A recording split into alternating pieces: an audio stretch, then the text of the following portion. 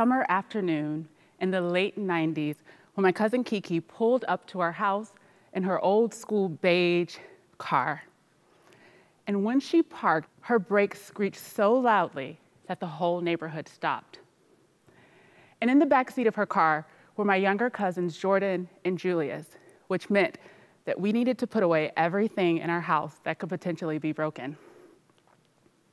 But that wasn't what I remembered on that afternoon. What I remember was the music, the music and the lyrics that spewed from Kiki's car.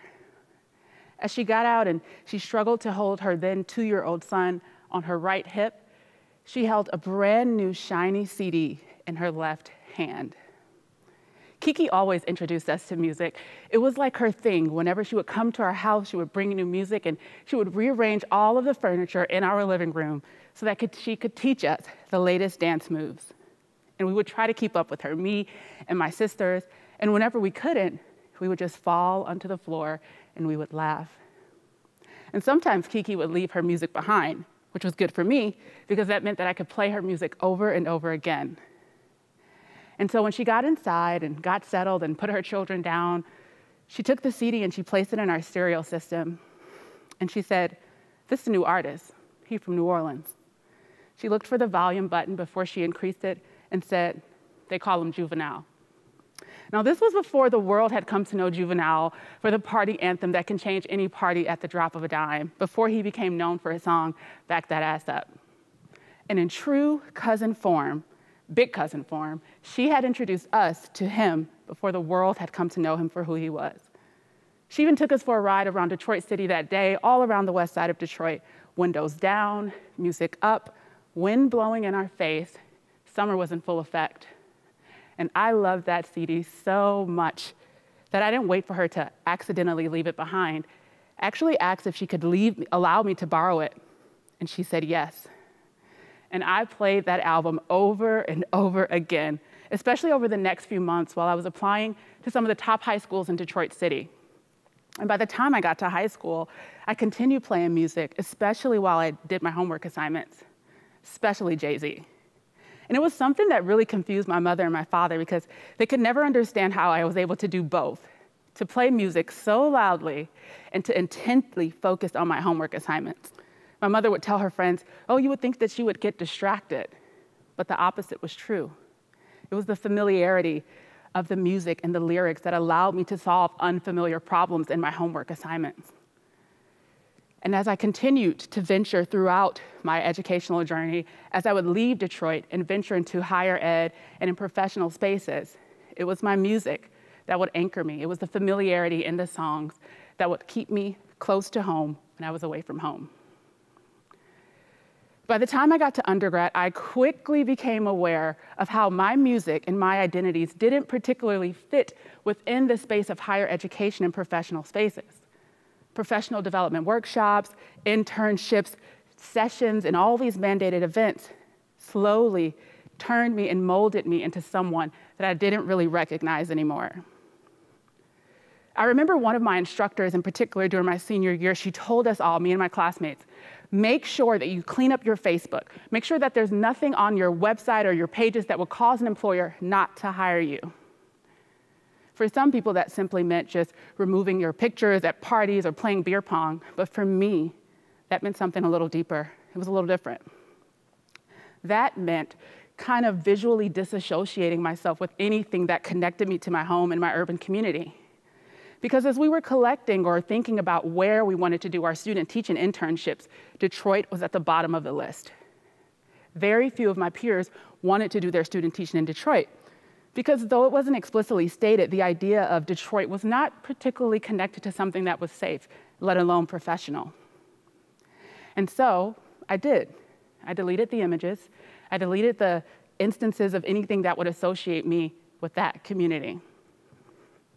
And I can be honest, I was lucky enough to have tons of advisors and mentors who constantly reminded me that because of my identity and because of where I grew up, that that positioned me in a very unique way to connect to the students in the communities where I wanted to teach. I'll never forget my academic advisor, Jennifer Watson, who constantly reminded me that I didn't just have head knowledge, but because I lived it, it was embodied knowledge and it was in my heart. And that was something that I could carry with me throughout my educational journey. Still, those hidden messages about what it meant to be professional continued to war with the affirming words that I got from lots of people in my corner. How vulnerable are first generation college students and young professionals who venture out into new worlds. For many of us, becoming professional means going into unfamiliar places that do not understand our languages, that do not understand our styles of dress, and not even the highly seasoned lunches that we bring to our workspaces. And it's true, I get it. That there does need to be training and things about preparing people to become professional. How else is a software engineer supposed to learn how to become a software engineer without being trained? But it's not training that I'm talking about, it's not merely training. I'm talking about the values, the belief systems, and the structures that uphold professionalism that do not take into account multiple ways that people exist in the world. And that is because I think, in the United States in particular, there are very westernized, static notions of what it means to be competent, of what it means to be eligible, of what it means to show up as qualified. And so, as I ventured into these more professional spaces, the music, the volume of my music lowered. And when we think about professionalism, it just isn't professionalism. In a sense, if we really think about it, it is an identity construct that is steeped in whiteness. It is racialized, it is gendered, it is so many other things. And unfortunately, it does not take into account the diverse ways of being, instead, it marginalizes it. As I continued in my educational journey and I moved to New York City to start my master's, when people would ask me where I was from, I actually replaced Detroit with Michigan. I'd finally come to a place where I was at peace, rather, with feeling like my identity as a Nigerian and an African American was something that I finally wrapped my head around. Story for another day. But still, this professional tension was still continuing to war with me. Over and over again, colleagues would constantly ask me, How is it that you grew up in a city where people get shot and robbed every day, but you're so smart? You're, you're so different. I even had one colleague ask me, or tell me rather, that she would have never guessed that I was from Detroit. She considered it a compliment. I didn't. When I really unpacked her statement, what I found and really heard was this whole idea that, like, someone who came from a place like mine should not have been, or how did you end up in an Ivy League institution? Because people who frequent those spaces only go to safe schools where there's a safe neighborhood with lots of money. And my background and my identity didn't particularly fit within the walls of the cherry oaked institution. And that was true for one of my classes, too. I was in a master's writing course with a world renowned professor who was known globally for the work that she'd done on reading and writing across the globe in classrooms all over. And she asked us to bring in an assignment, to bring in a sample of our students' writing, and I could not wait. I already had my student picked out, Ali. I'd worked so closely with him on his memoir I'd, he had visited his family in Iran, and he really wanted to write about it. And I was equally excited to bring that piece of writing into my class that evening. And once the semester got to an end, we got all of our feedback, and I turned to the last page and I read her feedback. And I would never forget one line that stuck out to me. It doesn't look like any quality and professional teaching is taking place in your classroom. Professional. The word jumped off to the page, into my heart and even caused it to skip a beat. I was baffled. How is it that I was trained at one of the nation's, at the nation's top elementary education training program, yet my question, or yet she questioned the quality and the professionalism of my teaching? Was it because he had written a too short of a memoir? Was it because he had written in two languages? Was it because of his misspelled words? I couldn't figure it out. What, what should I have done differently? I decided not to email her or send the email that I drafted to figure out why she'd given me that feedback. Instead, I actually called my father, vented with him on the phone, and kind of moved on, kind of, sort of. Instead, I leaned on schools of thought that took into account multilingual, racial, ethnically, and linguistically diverse students' identities that allow students to bring all of that to their writing, ones that are not necessarily steeped in very Eurocentric ways of thinking about the teaching of writing and that comforted me. Once I finished my master's program, I moved 1,748 miles to Austin, Texas from Harlem, New York. unlike Detroit, unlike Harlem, Austin, Texas would be the least diverse city that I'd ever lived in.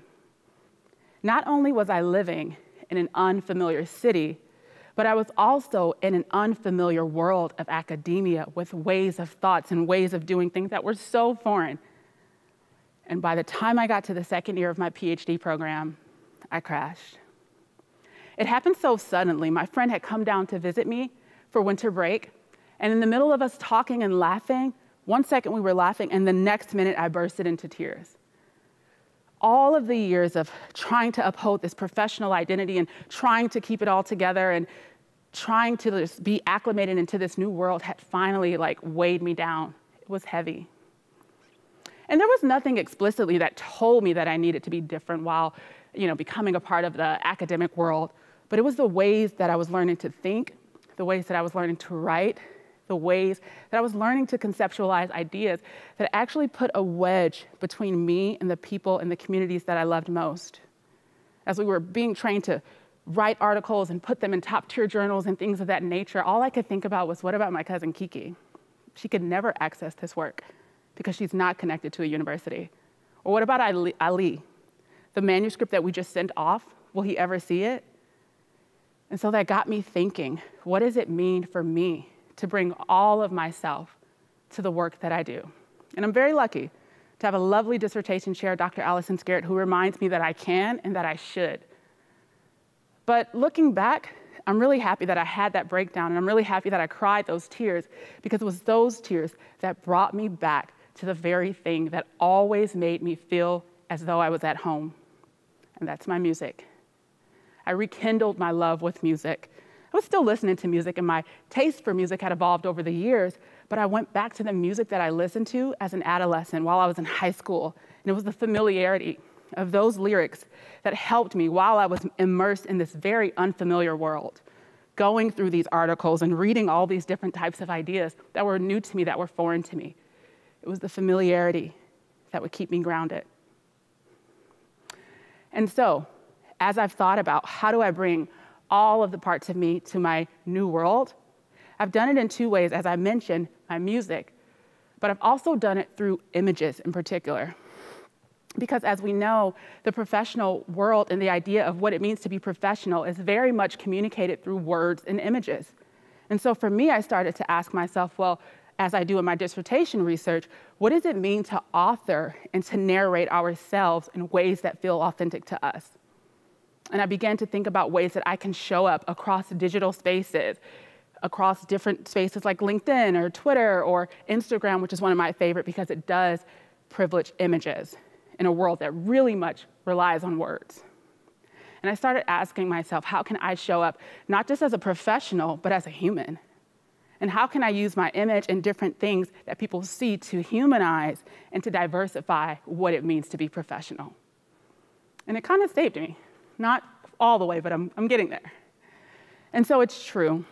The way that we think about professionalism needs to be reconceptualized, it needs to be redefined, and not just in terms of our professional identities, but our professional and racial identities, our professional and gender identities, professional and, and, and. And that's a question that a lot of organizations and institutions are going to have to ask. What does it mean for us to create a professional space, an institution, so that people can feel like they can bring the multiplicity of their identities? And yes, there's been work, there's been policies that have been changed, non discriminatory policies that have been changed over time, but we still have so much work ahead. What does it mean for us to show up as ourselves, as young professionals, as interns, across the spaces where we have autonomy, where we have control, so that we don't feel like as we acquire our education and as we acquire these professional experiences, that we don't have to shed who we are, that we can hold on to our most authentic selves. And so, I'm a few months away from adding PhD after my name. I'm a few months away of becoming Dr. Lakeya Omogun. And it's so funny because as I sit at my desk or wherever I am, coffee shop, the music that I'm listening to is the same music that I listened to while I was younger. It keeps me grounded. It makes me feel at home. And as I'm typing, and as I'm writing, and as I'm interviewing, and as I'm updating my CV and, and, and going on different talks, I'm reminding myself that me, all of me, gets to and should deserve to show up in the totality of who I am. No more hiding, no more shedding. This is me.